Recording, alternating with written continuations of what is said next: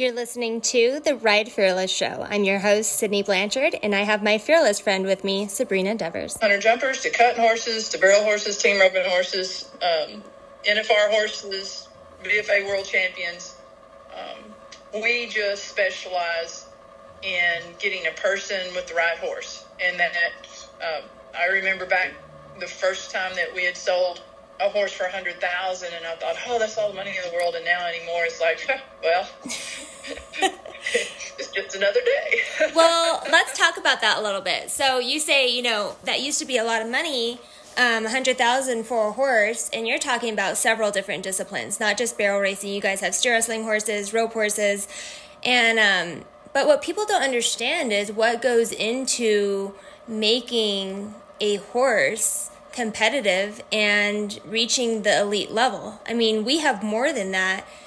Sad to say. I hate to look at it, but I've seen my books. We just did our taxes. Like, we have more than that in our horses, you know? So it's like, well, to make money, it's got to be well over right. the 100,000 mark. I always tell my, my it's because I sell for a lot of trainers. And, uh, you know, I tell them, you know, you at least make 50 cents on the hour. oh, God by the time that you haul them, you've trained them, you you've got your entry fees, you've got your stud fees. I mean, but on the good side, you know, it wasn't that long ago that that breeders were having trouble even covering what the stud fees were, much less raise them to be two and three year olds and then sell their product. Now the market actually you can make money with the industry, and I think you know, things like the pink buckle and the ruby buckle, those incentives have allowed the horse market to step up with that younger market. The market has always been strong for your rodeo horses because, you know, you've been to the bar, it does pay. So those horses are worth so much because it's, it is so competitive out there now. You know, the horses, your maintenance is better, they have longer longevity, but the level that they have to run at to be that 1%. And I'll tell people because you see on the market, oh, I've got a 1D horse. Uh, well, there's different areas for different 1D horses. There are different areas that have more 1D horses. And, you know, whether you're looking at local pen or you're going to your bigger super shows, you know, that's that, you know, that's going to make a difference on what that horse is. Like, for instance, today I've got three horses coming in. Uh, I've got two customers coming in. Uh, my market is really strong for those horses that are easy to get along with. Mm-hmm. I do sell barrel futurity prospects, um, but that is kind of a market that has kind of a top end and then a marginal end. And I kind of like that open end. You know, I want to, my market, I want to sell someone and bring them along. So, say you have a, a customer that is just getting in. It doesn't matter if it's a youth or an adult. I want to get that horse to bring them along, and and, and I'll tell them don't don't get stuck on this horse forever because we're going to move you up the ladder. You know, we're right. going to start you out, you know, and then we'll move you up. And that's how you're so keeping your clientele coming back as well. And that's kind of, and it seems like you're really emotionally invested in these people. You're not just looking at them like a check right? Because it is such a small community that you have to have repeat customers. So you can't just, you know, look at somebody like um, like a payday one time. You really do yeah. want to be a part of their team, and they're looking for somebody to be a part of their team. I've had the same phone number for 35 years and the same facility for 32. So they know where I'm at, and they know, and I don't want to have a phone call at, at four o'clock in the morning unhappy with a horse. Yeah. I would much rather pass on a sale. If it doesn't fit, then eh, eh, you know, there's been times I've just told, "Hey, it's not going to work. This is not. I know you want this particular horse. I mm-hmm. don't feel comfortable with this. So let's just pass and uh, let's go to lunch and we'll find yeah. you another one." Yeah, and they respect so. you for that. So what do you do? Like I've had experiences like that where I thought I sold a horse to somebody and that was going to be the perfect fit, and you know, down the road it just wasn't working out and they are unhappy like what do you what are the next steps that you take as a professional oh, okay for example um, i sold a horse uh, four months ago and i was worried about it at the time but the, the hand was she's a really good hand and but her her natural style is a push stop, mm-hmm. and that's what she had always won on. And I had had this customer since they were eight, and they are junior in college now. So I've had them a long time. I don't try to go wide. I don't try to go get new customers. I just mm-hmm. try to take care of the ones that I have down in my okay. downline, keep them winning, and that's a full time job. By the time that they send their friends and their and their relatives to me to get them to winning on a program. So for her, I'd had her for a long time, and I told her, I I just don't know if this is going to work with this change of style. Mm-hmm. But they were like, you know, we need to expand our horsemanship. We want to try uh, some things different. Well, it wasn't her style. And so what I did is I got that one in, sold that one, got her one that did fit the style that I was comfortable with, and she immediately went and won at two rodeos. So I try to rectify something if it's not working. Mm-hmm. Or, and you know, you get customers too that they buy an expensive horse or a cheap horse. It doesn't matter. You know, people sometimes, you know, ten thousand dollars is a mm-hmm. huge mm-hmm. amount for them. Right. You know, you got to take care of those people. Even, even a, a cheaper horse than that, um, mm-hmm. which really gets difficult. But say they decide the, you know, their kid decides I'm going to get a car and get rid of the horse, then I've got to be comfortable with that first initial sale that I can get them out from under that horse. And I think mm-hmm. that's the key to what we do. We don't leave them hanging. And when you say that, that you're going to get them out from under the horse or um, not leaving them hanging, so your steps are you'll take them in. So what you have, you're not just sitting on the phone all day. You are a competitive, talented barrel racer and trainer. So you can take these horses and what do you do? You fix them and then and then send them back out or fix them. Yep, yep. Uh, what I do, I get them in. I evaluate where we're at. Have we got a physical issue going on? Do we have, you know, we got some training issues that we've changed up that this was not normal for this horse?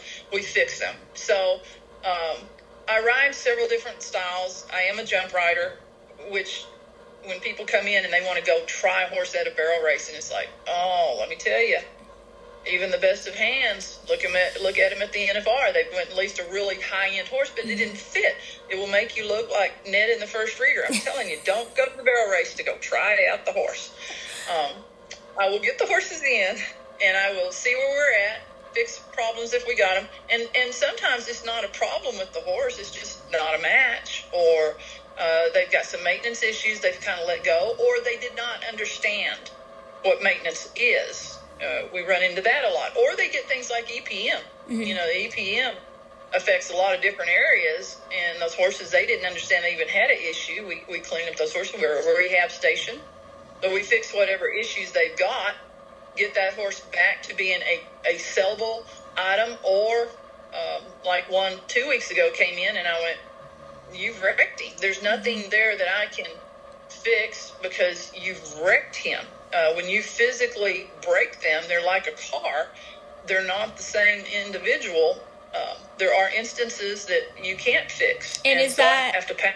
Is that something that you tell them? Like you just say you you did this, or or do you kind of try to walk on eggshells around it and and just be like, oh well, he didn't hold up or do you tell them like you did this. You ran this horse too much. You didn't have him maintained or like do you give them the the reaping? I am known to be very blunt which offends some people um, but that's why but we're that's we're friends because you're blunt. For some reason, I love that. I'm like that girl's honest. I know exactly who she is when I walk up to her. Straight up, you know. Uh, and, and they know. I mean, I have people, uh, especially people that don't know me, and will try to slide one in on me, like send me something that's bad at the gate, and then go, "Oh, it's never been bad before." Mm-hmm. Well, I mm-hmm. take it to the first event, and and I'm not a tourist. I know this, and I'll call them up and say. This yeah. horse is going back home because you have a major gate issue or uh, oh, three months ago they sent me one a long distance, and I was excited to get this horse in, really well bred but mysteriously didn't have a lot of current earnings and hadn't had current earnings in quite some time. So I was a little bit skeptical. And then when I, you know, and I did my research, I go back and I check on these horses. I check on these horses because I have people everywhere. I will say, I'll call up my buddies and say, hey, have you seen this horse run? What did it do?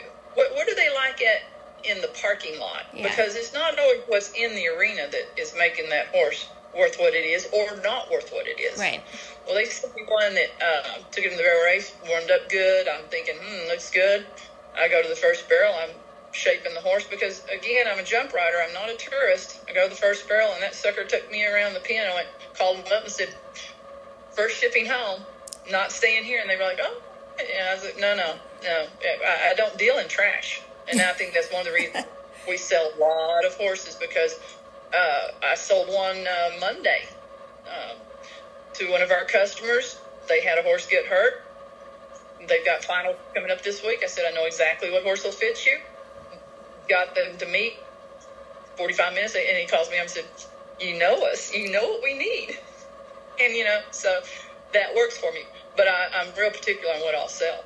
That makes a difference.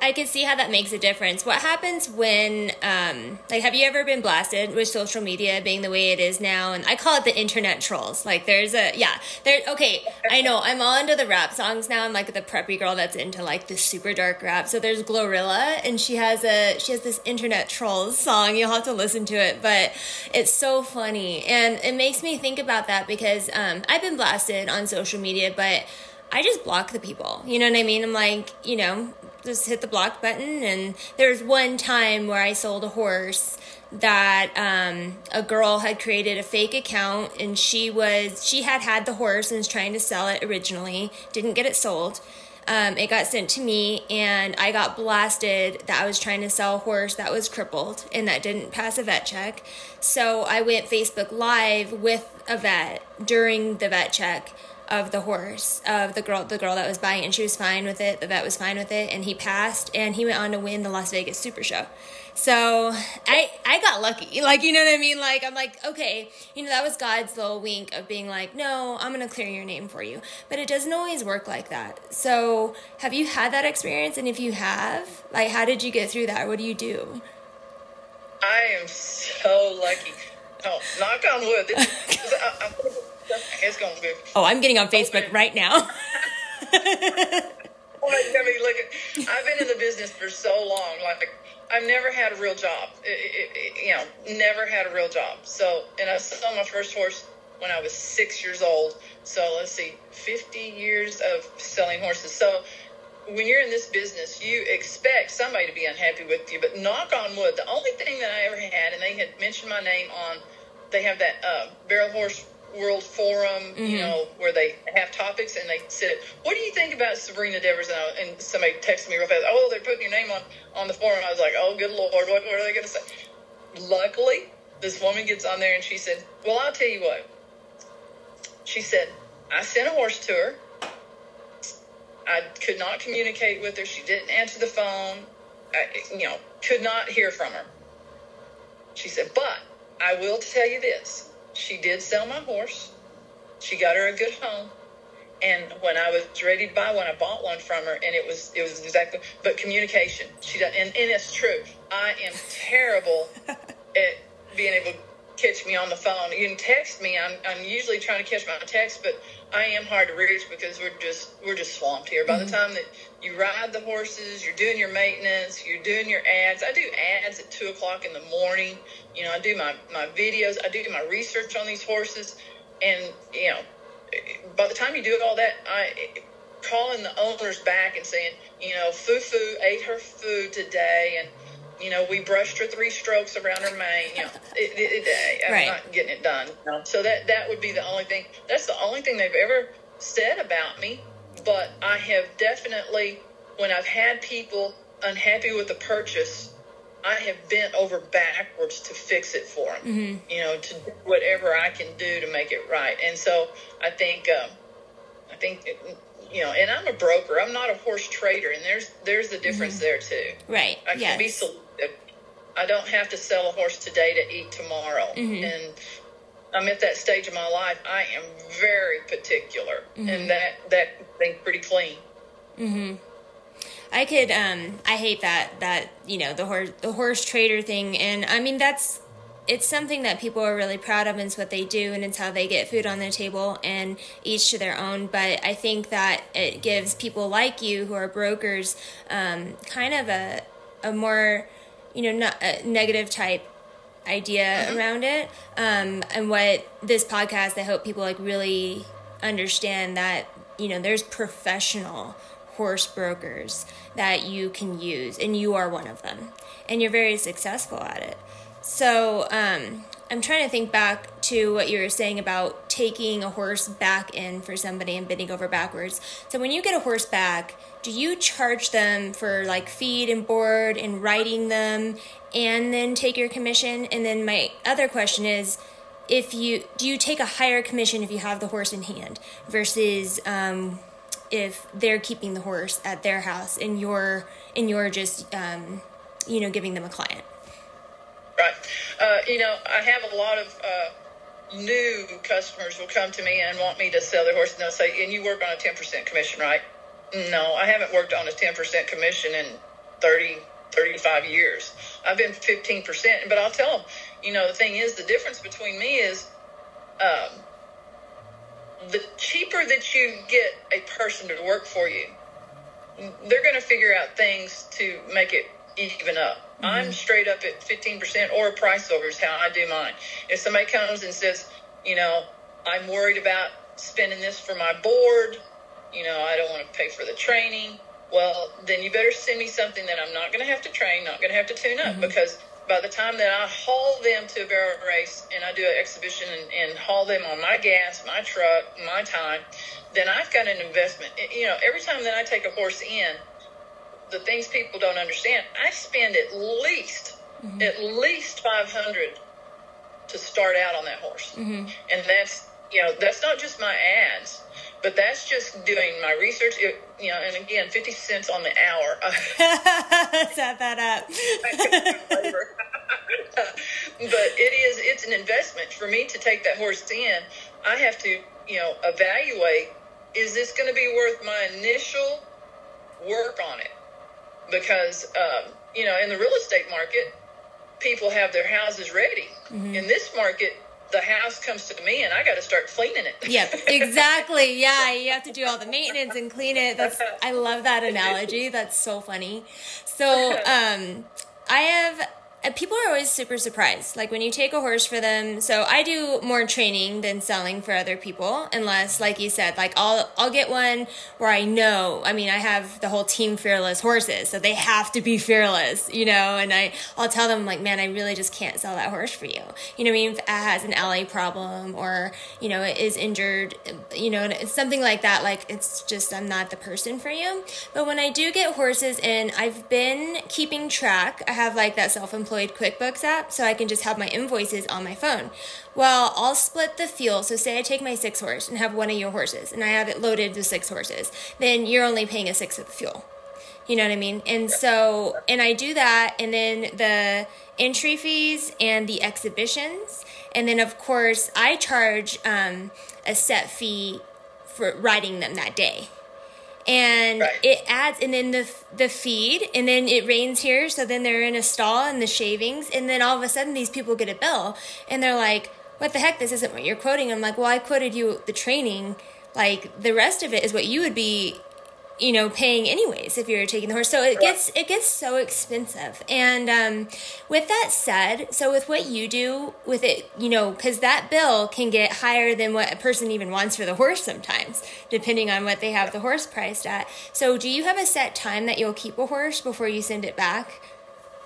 Yeah uh, i i look at it um, and again that's one of the reasons i get 15% instead of people that are getting 10% because I figure in on that 15% as part of the, you know, like I throw in the gas, you know, for hauling that horse. And, and there's a lot of, there's a lot of things that get thrown in, you know, feature blitz ads. Um, uh, you know, all, I have a lot of periodical ads too that are out there in, in all the magazines too that people don't even consider, you know, what I'm spending on it, but they see the results.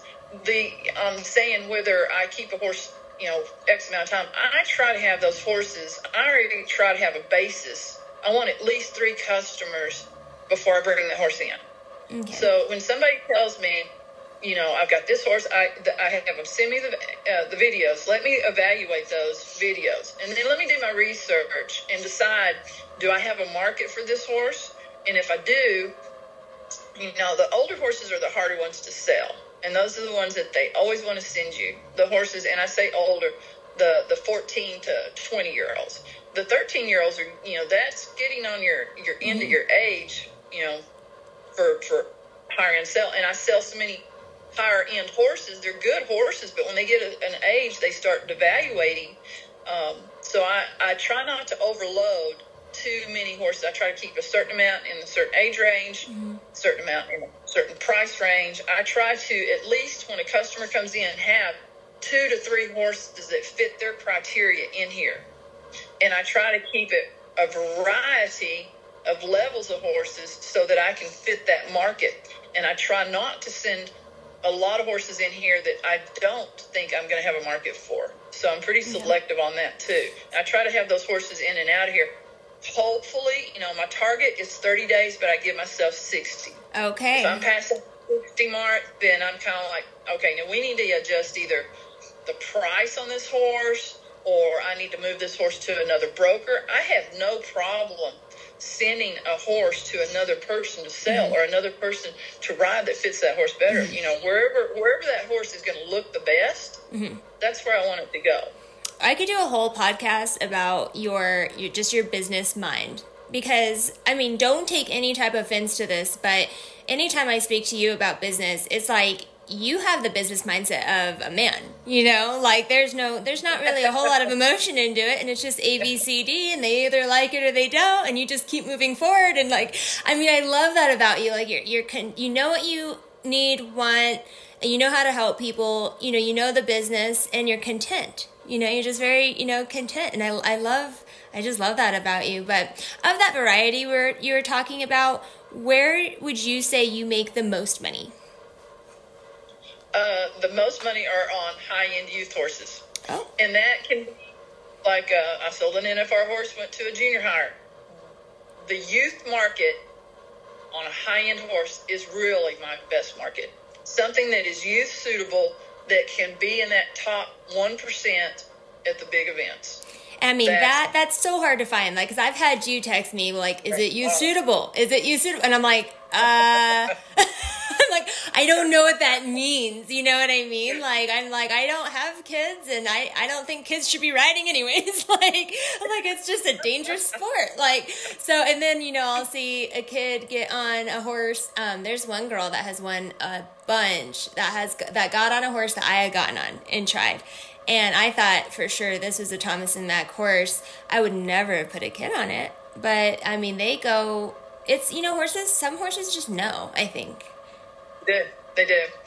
You know, and, and that, that will get me in trouble too because all in my mind think there is no way that this horse could possibly, and I've tried to work on myself. I, I try to expand my thought on things. You know, I'll get, I'll kind of get tunnel vision on stuff, and I'm really, I always stay worried about youth, youth, youth customers. I should have gray hair. I should have gray hair from youth, youth worrying about youth. But I have found, and, and it was the same thing for me when I was a youth. I, I rode a horse that was notoriously ranked amongst men, team ropers. They were like, oh my God, my dad caught a lot of crap for me riding him because he was known to be, sure enough, kid. He's just known to be bad. He fit me. Mm-hmm. He fit me. And those horses do have, when you have that connection between that horse, uh, I sold one uh, about four months ago and this was a high end horse, but she was definitely technical. She's trained by an individual that has horses that have gone to the NFR. She rides a certain way. These horses just almost have a bond with her, and they're they're very difficult to place mm. because of that bond. They're mm. not a user friendly. They're not a jump rider kind of horse. They are a one on one, which are hard. But mm. she's she's a good good mare and this youth came in here and she came to look at a, a different one and this is the one she wanted and i was like oh okay we'll try this because i've got to keep an open mind on this and that mare the minute she saw her i mean this mare is kind of cold um, doesn't have the the me personality was mad because she was in here these horses when people think that they mm-hmm. they uh, don't understand and they're being sold, you're you're wrong. Mm-hmm. They they understand it. Some are like, Yay, I'm ready to go to somebody else and some of them are like, I was a good horse. I did my job, and here I am being sold. Right. They don't understand for a little while that hey, we're your buddies, and we're gonna we're gonna find you a perfect home. Mm-hmm. It took her a while to kind of warm up around. She never really did warm up, but she got to this youth, and it was like she was at home. She was like, oh, and they have done great. So sometimes you just got to sit back and see because those those youth riders, and, and not just youth, but some adults, those deals come around that you don't expect. And they'll make you eat your hat. You'll think there's no way that's going to work, and yeah, it did. I've seen, I know, I've had that happen, which is a, a huge blessing. Um, I like I had a conversation with some friends about a week ago about selling horses, but as professionals, because there were other professional barrel racers too, had been to the NFR, that in order to, like, we felt like in order to make the NFR or be at that elite level with a horse, that you do have to have that connection. And kind of what I'm running into now which I'm getting back into the rodeo. I'm kind of getting the bug again. So I might want to, you know, I might want to go. So I might keep them. But I, you know, I kind of got burnt out and wanted my horses to go on still and be on the road and they deserved to, you know, compete in that elite competition. So then I decided, okay, I'm going to go home and I'll just train them and I'll season them and then I'll sell them to somebody who wants to go. And what I ran what I ran into is that I am purposely not having a connection with those horses because I know that they're going to leave. And therefore, they're not going to reach their full potential with me because you have to have that connection in order to get them to that full potential. I think. And that, I mean, that's how I've been successful. And that's how my friends that, you know, we were having that conversation have been successful. Have you had that experience? Well, what, what hurts me is, you know, because I'm training on my horses at the same time. Because what I do is I, I see something I like, whether whatever age it is, and I buy it and I put my time in on it. And a lot of the times it's a, you know, a three or four or five year old and I'll bring it along and, you know, it'll take me four or five years to get them to where they are a sellable, where I feel comfortable and kind of get along with them and they're going to win and everything. And you have to have that wall, you know, mm-hmm. that you've got to have that detachment and it's just a killer on there. I mean, it, it does, it, it gets to me, you know, uh, but what I have to do is focus in on they're going to somebody else that's going to win on them and they're going to they're going to do well. And that's how I kind of separate myself from them but that it is an issue. And uh, even for me and and I've sold horses forever. I mean I, I sold my pony. I sold my pony at six you know? So it's like you know I, I, I get it. That's how we earned a living. But that bond um, is is definitely hard on you. I, I tell you the hardest thing about selling horses though are the vet checks. Mm-hmm. Yeah. The vet checks because you'll have the perfect horse, uh, and this happened three weeks ago. I had a novice woman that I knew a horse that fit him perfectly. She's not going to be going to um, very many events. The horse, you just had to do maintenance. You know, uh, there's some areas that just don't want to do injections, don't want to do. They just don't want to do any maintenance on them, and um, this horse, you know, when when you're looking at a certain price range and you're wanting a certain age range, and then you're needing them to be very user friendly and still run at a, a 2D, 3D level and be in the bargain bin, it's hard to fill those orders. And then when you have them go, well, they saw this little thing on the vet check. The vet checks are so difficult, so difficult. And I see a lot of people miss out on the perfect horse that would have done exactly what they wanted to, the level that they needed, and and been a good placement, and then the whole deal is just crashed and burned because they see something. You know, the vet checks anymore. The the machinery, your X-rays, your son, everything is so elite now. They're seeing every little pimple on these horses. Mm-hmm. That doesn't mean that they're not going to be a good horse. Mm-hmm. It's just something else that the vet can say, I see this, this, this, and this. But your vet needs to say, but I can maintain this, this, and this. Right. And this is what the longevity should be. Yeah. yeah. Um, but for a, for a customer, especially people getting first first in the industry and, and in their mind they're spending an X amount, whether it be under 10,000 or over 100,000, they're first getting in they hear the words, I see this, and they mm-hmm. it just shuts off. It's like Right. And, And the first thing I hear about what you're saying or that I can relate to about what you're saying is there are, and people don't realize this, but there are vets who have specialties. And there's a vet who's who's a vet to find something, you know, and that's like that's their goal in life. And then there's vets that are performance horse vets. And if you're going to be on the road and you're going to be competing, you need a performance horse vet in order to, you know, keep um, keep the horses going. And same thing with us. Like, I mean, I'm sore. I'm sore. Like, I have had back surgeries and you know all kinds of stuff. You know, I have I have a um, a bone spur on C1 that if my neck goes out, it'll touch my brainstem, and all hell breaks loose. you know, and so like I have to go to the chiropractor once a week. Hmm. Kissing spine surgery for you. Yeah, I have so much heart. I have so much heart. I have like secretariat heart. No, but that's what you got to realize. So, what Yeah. what you or what that person is willing to deal with. Like I never go into a vet check, and I really want people to hear this. I never go into a vet check expecting it to be clean. I go into it wondering what they have because they're going to have something. If they've been trying that hard for somebody, if they've been doing their job and they have heart, they're going to have something they're going to have some type of wear and tear that needs maintained. So I go into a vet check saying, is this something that I'm willing to deal with for X amount of years of this horse's career? Or what I, whatever it is that I'm wanting to do with it. And um, for example, and I'm super open, you know that, like um, my horse Angel. So when I vet checked her, she came up with, she was born with a deformation in her hock. And then she had, uh, you know, a meniscus flap that just needed taken off. That's different than like a meniscus repair. But this mare, she was only five and she had won so much. Like with with her owner, I'm like, oh my, like this this bee has some serious heart, you know, and I couldn't wait to see what she would do, like not being in that pain because especially when they're born with something, like they don't know any different. Right? Yeah. And so I couldn't wait. So when I did my back, um, when I had my back procedures, I had her stuff done.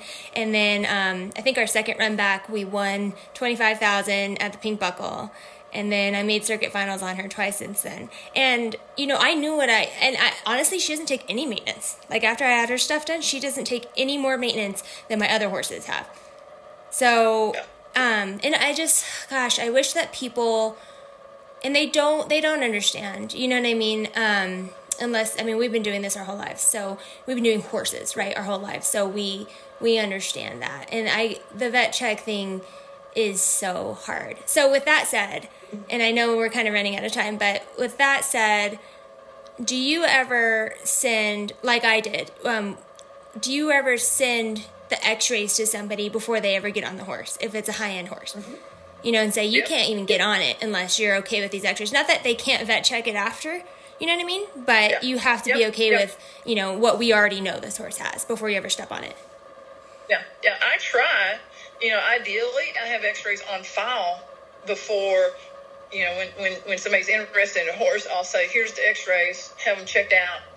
You know, ideally, they send me the horses with some X-rays or some history, and I and I try to always know what the maintenance is. You know, whatever it is, I don't I don't care what it is. If the horse has to run on Lasix, so be it. I'll sell it to people that can manage Lasix. Mm-hmm. If they can't, then we're going to skip that horse. You know, because I don't want somebody to get something they can't manage or won't manage because it's just going to be a terrible thing down the road. But on the vet checks, it is hard for people that are not used to being in the business to understand what it requires. For the girls that are running up down the road like you, they understand and they don't expect them to be perfect.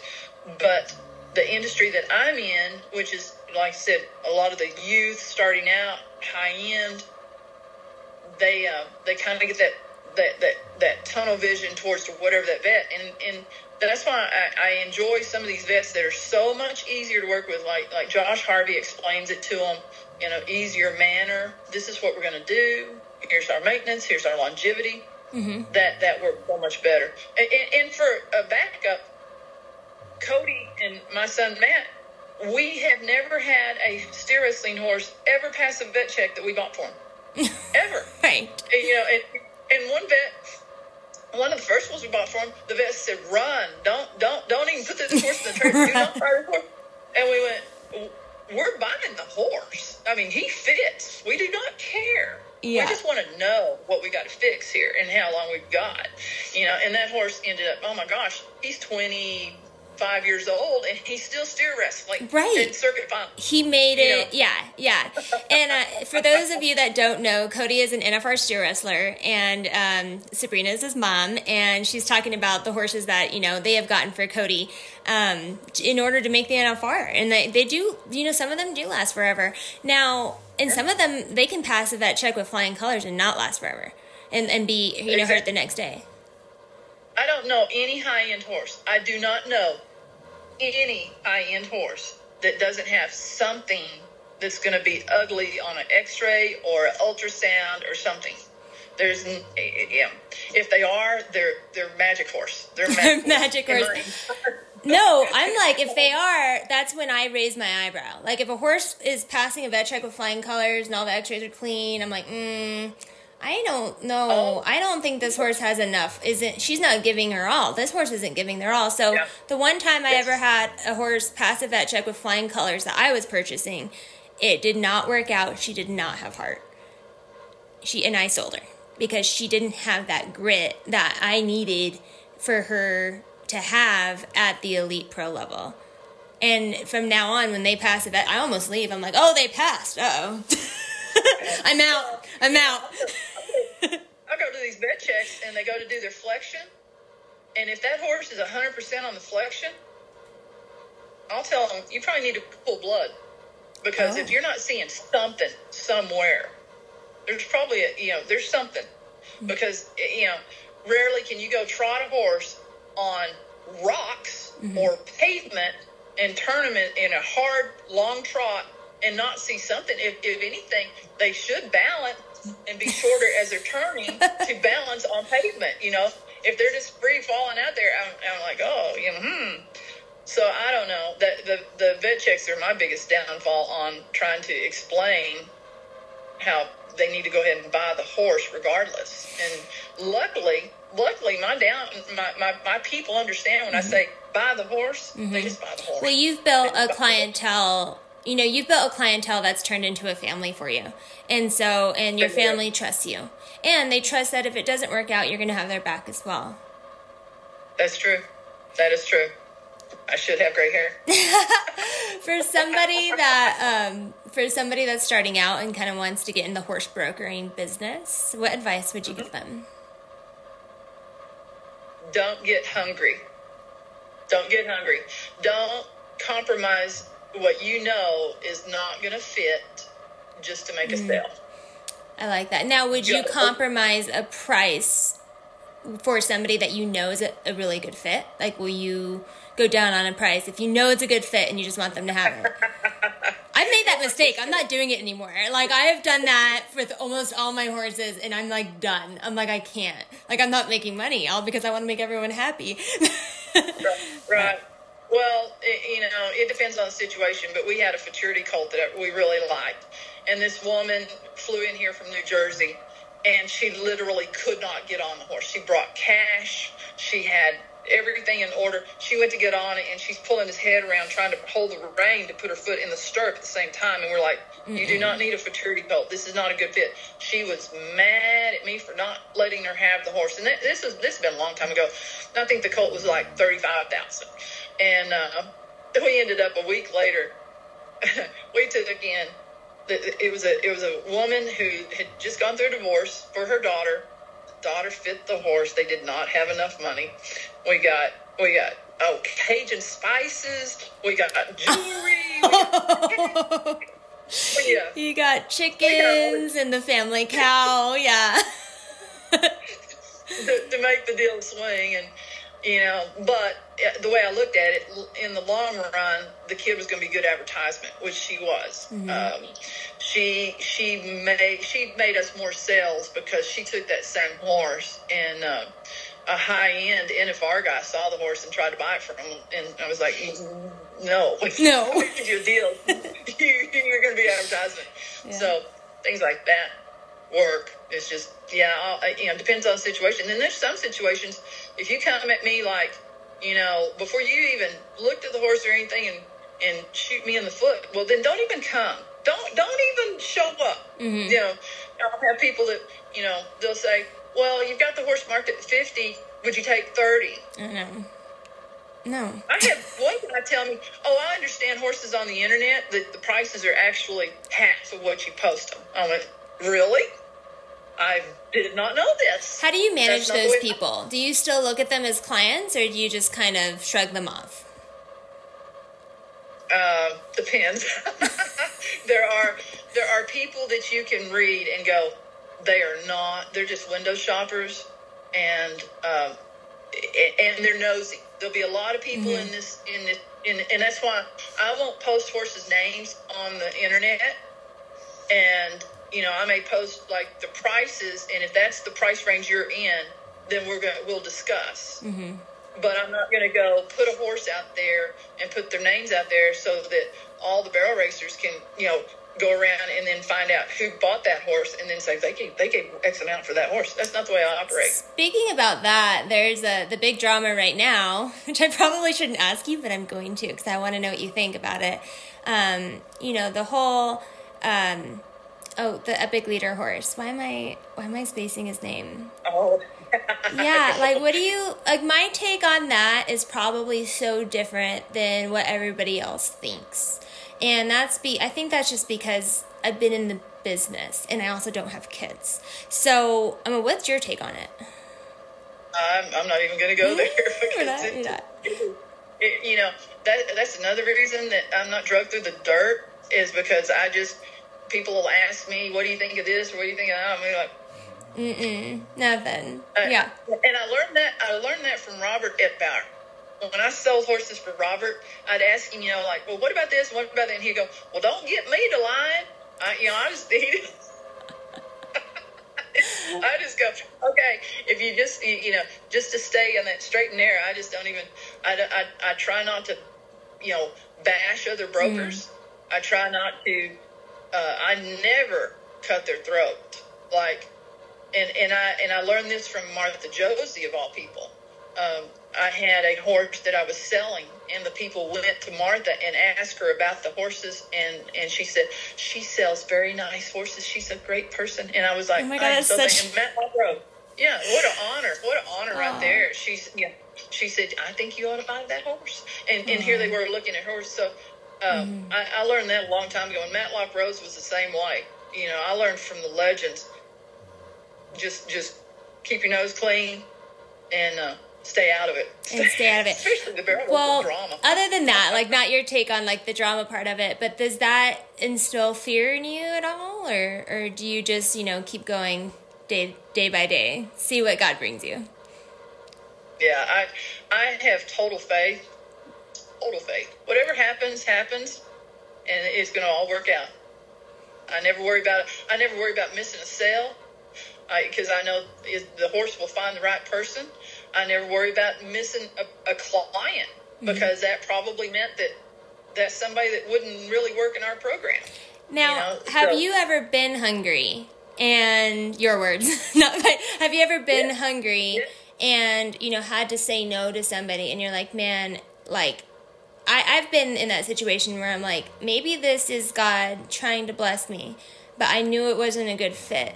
And I said no. And like when you say no, man, it's hard to, it's hard. You know what I mean? Those first few days after that or a week after that. Like, what do you, how do you cope when you're hungry? Like, what do you do? Like, what's your next step then? You know what I mean? When you do say no and you're like, ah. you know, you hope it's, it's like when you turn down a sale, you hope because it's kind of almost, almost like the kiss of death. It's like the horse will go and get crippled the next week. If, you know, somebody comes up and wants your horse, and it's like, no, I don't, I don't want to. Then something happens. But I'll tell you how hungry we were. You know, when I met Marty, uh, our original Devers Performance Horses was a facility that we had built um, on the other side of, of Perryton, and we and, and I got a picture because I always wanted to remember where we started at. We had, and this is before cell phones. You know, everybody's got a cell phone. This is before cell phones. You had a landline.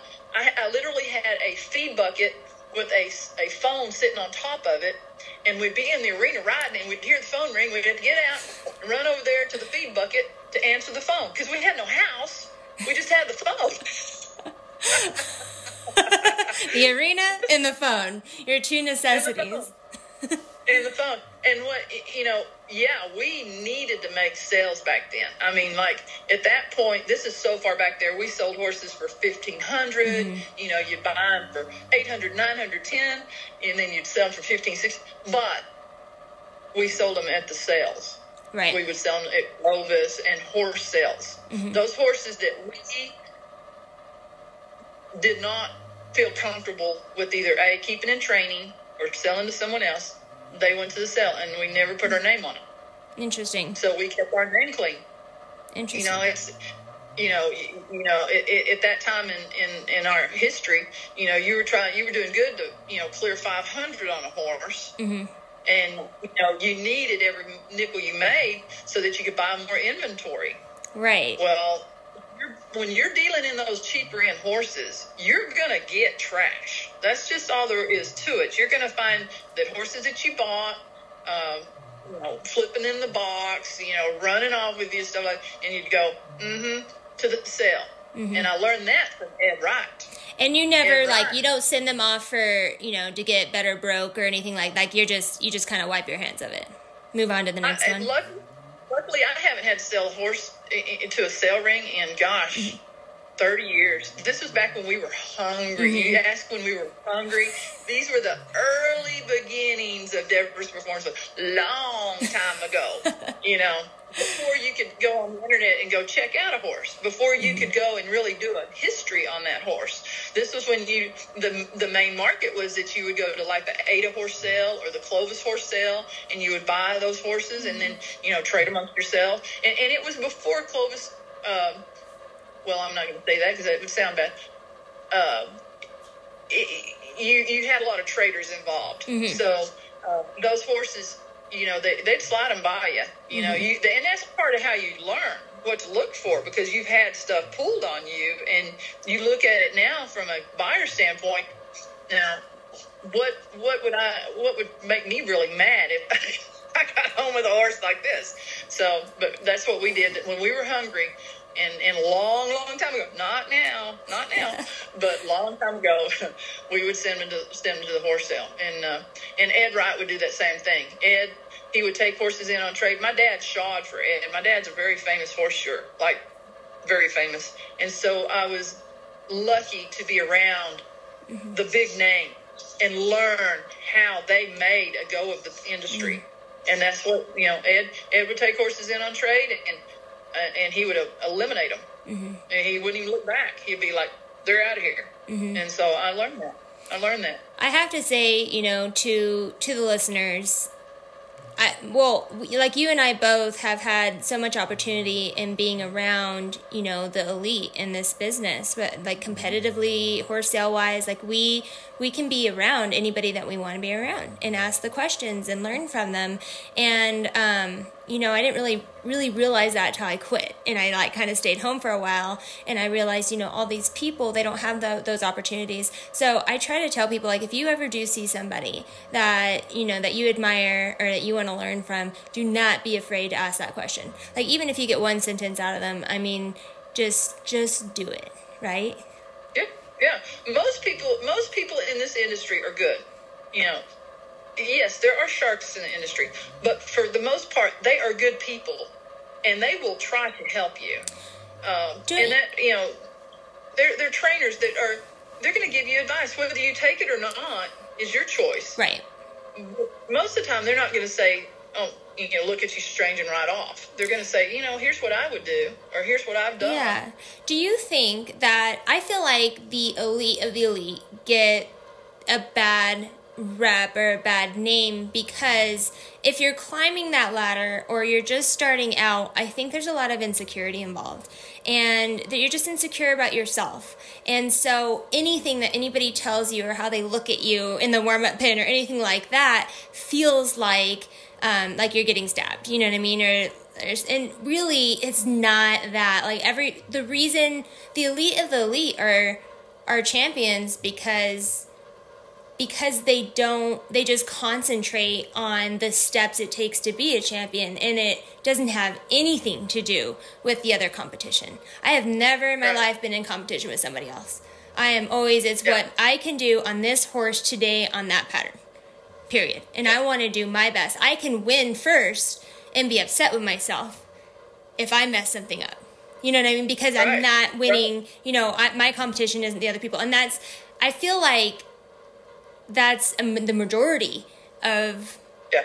of uh, you know people's process that are at that level, and so yeah, I feel like you know people just you know i mean just just ask and go ride with people and don't take anything personally and you know just take one step at a time if you take one step at a time forward you're you're eventually going to get somewhere well, I find like uh, like when you go to big events and you've got your, your bigger name trainers in there, it's kind of funny. A lot of them will stand off by themselves because they are trying to figure out what am I doing because they're running their horse, whatever.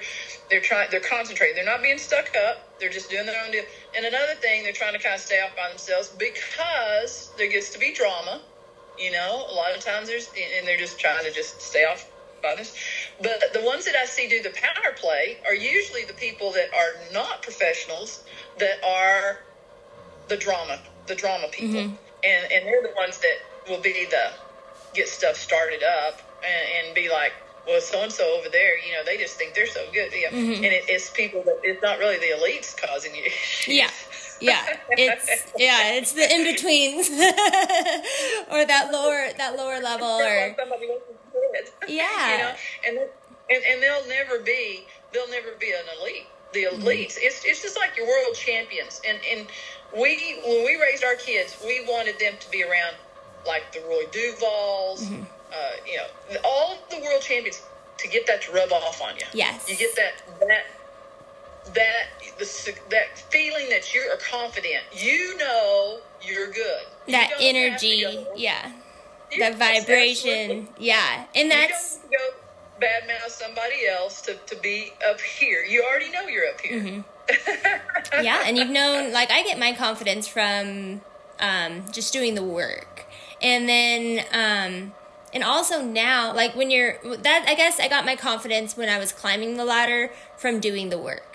And it wasn't really about building my confidence, it was more about learning. Like, I loved to learn, and I knew that I wanted to take my talent um, that God gave me to the highest level that I could, that I would do the most I could with that specifically. So, I pride aside, you know, I I'd ask for help. There's many times I asked for help, and that's what that's what made me make the NFR because I was had a horse that was running off with me.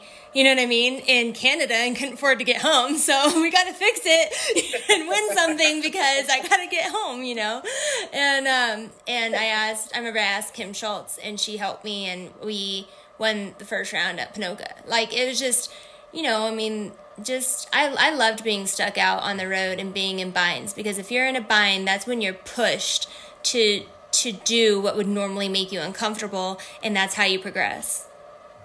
Well see now for rodeo to me and i'll tell my students this and i have students everywhere from age four to 74 so the wide range i'll, I'll tell my girls that's on the road you know you're not riding hungry. Now there's that hungry in, in the good sense you've gotten too lax mm-hmm. because you're not you're you don't have to go in to, you know to make your entry fees. There is a benefit to having to go in mm-hmm. in order to excel. Yes. When you when you can't go buy another horse you can't go fix you know this is you know you can't just have a, a quick fix on swapping out horses. You got to fix what you got. And that's riding hungry and, and that's really where you kind of to me develop being a trainer at that point. Yes, yeah. And I learned so much trying to fix not just fix horses like with huge problems, but just basically trying to pick up one tenth at a time in order to be at that level. For me, yeah. it might not be that I was hungry in the sense for I had to win to go to the next one. That only happened to me a few times. but I always have told people or I tell myself that my goal need, my goal is not big enough. Like if I'm not, you know, giving everything I can, if I'm not challenged, my goal's not big enough. I'm not going to ride how you would. You know what I mean? And uh, it's hard to stay home and have big goals because I mean, what what is there to do? You know what I mean? When when you're at the house, so um, I lo- I just you know it's fun talking about the elite and, and you and I being around them and then just, you know, hanging around high vibrational people and where that takes you. And speaking of, you know, where things have taken you from being hungry to where your performance horse um, business is now, like what is next? What do you have that goal that keeps you hungry? You know, uh, I'm in such a comfortable spot right now. It's, you know, we, we did 5.2 million in sales during the COVID year, and that was with Arizona, Canada, California, all of those places shut down. I did, you know, and, and I sell trucks and trailers too. There's a few Schwalbe trucks and stuff, but for the most part, that was just horse sales. That's a lot, you know. I, you know, you think back how you started out, and you know, for an annual, if you sold ten thousand dollars worth of horses, it'd be like, oh my god, you know, we'd rung the bell. To to where it is now, I'm in a comfortable position, and that's why I can, you know, it's it's kind of the fruit of your labors. I've got such a good customer base. I've got customers that I can call them up, and they may not be looking for a horse, and I'll say, hey, I got one that fits you, and you need to put this in your barn and make a sale that that will promote. It's kind of that rolling effect will promote us on the next sale by placing that horse in the right spot. So my goals for right now, because I'm getting at that point, you know, I was, you know, I take six to eight head of horses, and now I'm down to going to five at these deals. I'm, I'm kind of slowing down a little bit. It really aggravates me, but I'm, uh, I know I need to ride fewer to ride better. Mm-hmm. So I'm trying to do that. Uh, but I would like to, I would like to make a few more good ones mm-hmm. that somebody can really go on with. You know, when we were talking about you like to do the younger horses and get them and, and, and send them on to other people, and people don't believe that about you. Uh, I'm like, just me. go, so I don't have to. Like, I like to bake the banana bread at home, like. but I, I, I like to I like to get these horses in, and it's like a box of chocolates. You, you, you eat one, and you go, oh, that was a cherry one, and figure out how to make that horse work, fix that horse to excel them. And I really, I really, really like bringing along the new generation, mm. and that's kind of my goal. I would like to have something, and I mean this is way out there, but I would like to have something like Josey Josey World yeah. has something uh, kind of a kind of bringing those youth. You know, Kaminsky did that with the KK. Mm-hmm. I think that's just cooler than cool. I I would like to promote the industry so that when I'm gone, there's something out there that still, you know, they can say, you know, she helped the industry. Yeah. And I don't care if it was for somebody in the horse show business or the barrel business, just so that they had that feel for those horses. You know, that's just the coolest thing. I, I, I like getting people started and getting a, getting that basis for them. That that's my goal. I would like to have something that would. Uh, oh, are you there? Oh, I can't hear you. Yes. Oh, there you are.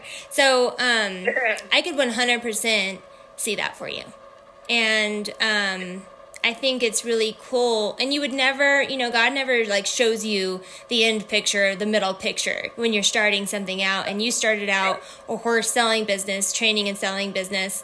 And now what I'm hearing is that you really enjoy coaching and you really enjoy bringing people up and you want to, and like that is your main passion now uh, matching them with the horses they can go in on, and I, I, it, it excites me every Monday when they start sending in. I won this, I did mm-hmm. that. I get my videos back in here. What do you, you know? What do I need to work on? I, you know, I like coaching them to be winners. I really do, and, and you know, I like, I like having a part like, uh, you know, Emily Beisel's one of my shining stars. You know, she's a good kid, not just inside the arena, but outside the arena.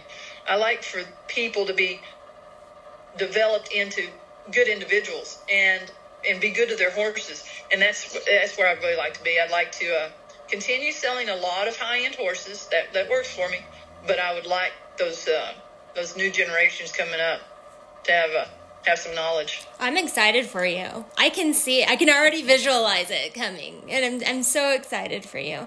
Um, I love Emily. I was just thinking about that the uh, at that slot race in Oklahoma City. I'm like, man, Emily knows exactly what type of horses she gets along with. Because like everyone she runs, like they just fit her so well. And that's what it takes to win. And like I, I remember a time where I got super prideful where I'm like, oh, I want to learn how to ride different horses and this and that. And that's cool and all, but you in order to be um, at the top level, you have to figure out what fits you and excel with that. And that's something Right. that you help people do. I, I like to I like to say, well, you know, if you if you just sat down one half step sooner, you know, and see that horse and that person evolve, that's that's the thing that's really cool when you can you can break that pattern down and say, okay, this is going to take you to that next level. That really, it's just like doing a puzzle, you know, Yes. whether that horse needs this or that person needs this. I was just thinking that um, that analogy, like the same, the same thought process on in order to be a trainer, if you're with horses or you're barrel racing or you're doing anything with horses, you better like puzzles. That's you have to like that because the puzzle is the process. I mean, once you're once it, once it's finished, it's finished. you know, you move on to another puzzle, but Yeah, exactly, exactly. Go figure out something else on, on somebody else or a different horse or something. That that's that keeps me sharp, and I like to develop. I like to see what's what is changing because this industry is always changing. You know, I had I had some students. I used to have ladies' day back when I lived in Odessa, and I was doing my clinics when I was 16, 15 and 16 down there, and you know, I'll have people that I haven't seen in 30, 40 years say, well, you know, you told me to ride like this. And it's like, are you still riding the same way that yeah, it's like that's that's so 2003. exactly, exactly. Well- but I like staying up with the times and, and figuring out. You know, I'll sit there and, and watch. I'll watch. You talking about the elite? I'll watch them in the warm up pins, and I'll watch them, and I'll break down their videos, and I'll study every step that they do and every motion with their hand, and, and you know, eh, I, of course, I'm a I'm a bit hoarder too. I love bits, but I will study the event. I like to I like to figure out what made somebody win. And that's what So that's what it takes for you to be as successful as you are. Thank you so much for taking the time out of your day because you're clearly got a lot going on to, you know, help all of us learn and kind of have that backstage uh, sight into what it takes to be professional trainer, professional coach, professional um, broker. Thank you, Sabrina. Well, thank you for having us anytime. Absolutely. Just remember, right? To stay hungry. Stay hungry. Stay hungry. Stay hungry. Stay hungry and fearless. All right. Well, I'll talk to you. I'll talk to you soon. All right. All right. Bye, hon. Bye.